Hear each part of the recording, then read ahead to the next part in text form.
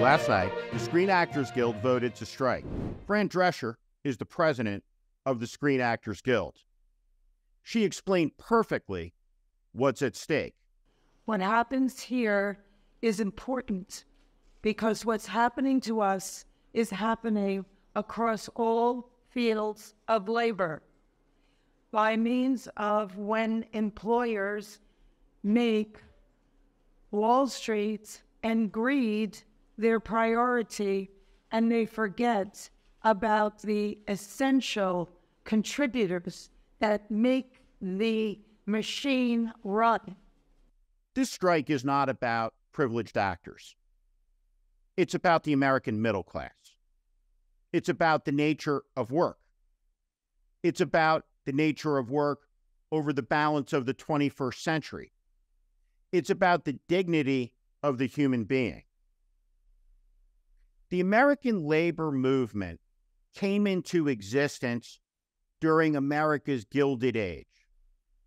And what it created was America's middle class.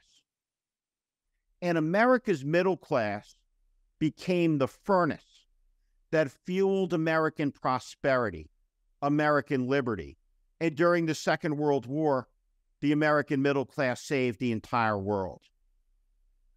Americans deserve to be able to go to work and earn a living that helps them create prosperity for themselves and their family, gives them an opportunity to climb the economic ladder, to live a purposeful and dignified life.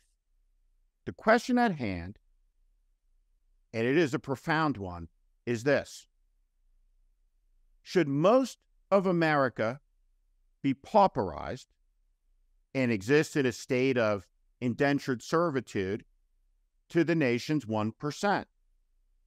Should people be able to have basic economic security, or should they be plagued to a life of anxiety and worry because 40% of the population in the United States of America, the wealthiest country in the history of the world, has only four $100 available in case of an emergency. Vast percentages of Americans live paycheck to paycheck, one broken leg away from financial destitution and ruin. It is unfair and it is wrong. Fran Drescher is precisely right. What this fight is about is perfectly clear. It is drawing a line in the sand and saying to Wall Street, enough is enough is enough. That's what the strike is about. Fran Drescher expressed it perfectly. We are living through a new Gilded Age. And what is happening is perfectly clear. Can you hear the rumble? The sound? It's the sound of the American labor movement roaring back to life. This is a momentous strike, and it will have profound implications, but it doesn't exist in a vacuum. It exists along a continuum of mistreatment of America's workers by America's richest CEOs and companies. I think what has awakened America's labor movement are the excesses of Starbucks and its accused campaign of union busting. Starbucks workers were fed a line of BS. They were told that they were partners, and then they were degraded because they couldn't make enough money to live for a full time job. And so, what did they do? They formed a union, which is their right. And what did the company do? The company tried to break the union, which is against the law. The company made a tremendous error because Americans are a defiant people who don't like being told what to do by the most powerful amongst us. And so the union movement took off within Starbucks. The union movement started to come back to life. And now at the edge of the age of intelligent machines that will eviscerate thousands and thousands of occupations across America. If you're a radiologist, the writer's strike is about your job. If you're an accountant, the actor's strike matters to you. Wall Street's interest is to make as much money as possible for as few people as possible at the top. And if it means pauperizing the entire population into a form of indentured servitude where they get paid pennies on the dollar for their contribution and the machines do everything else, they'll be perfectly satisfied because you can't see the misery left behind from the super yachts far out at sea or from the space station hovering above. UPS and the Teamsters are in very heated negotiations right now. The estimated cost of a strike to the American economy, should the Teamsters walk out on UPS, is $7 billion over 10 days. But here's the thing the Teamsters are an essential institution in America because the Teamsters help build the American middle class. And what has happened to the American middle class over the last 30 to 40 years is it has been wrecked, decimated, hobbled. It's time to rebuild it.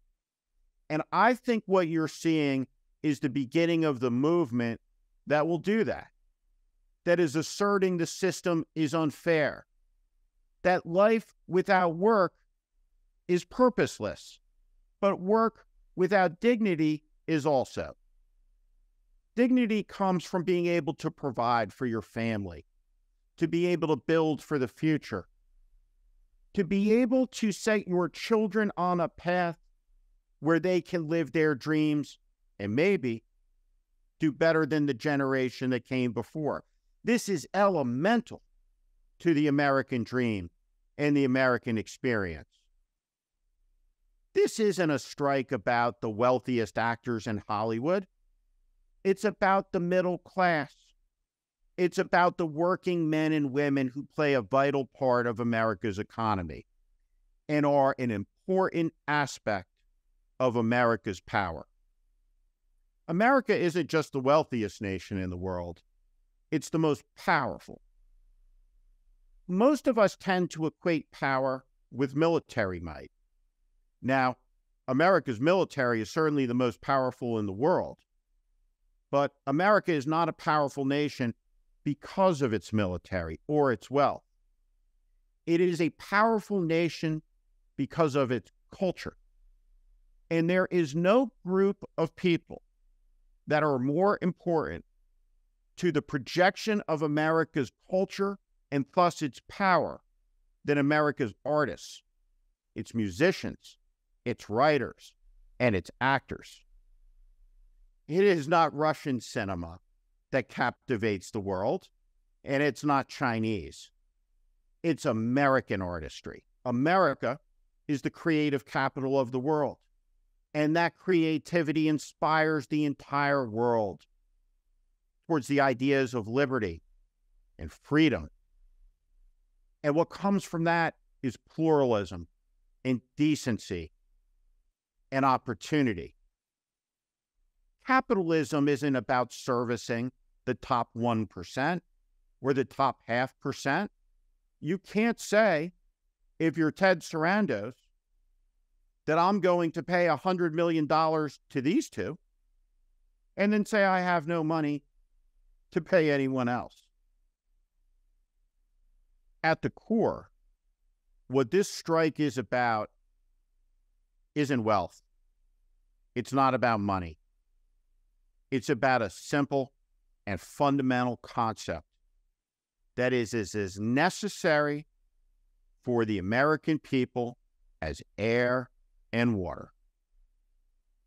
What this strike is about is dignity and the right of the American people to be able to have some financial security.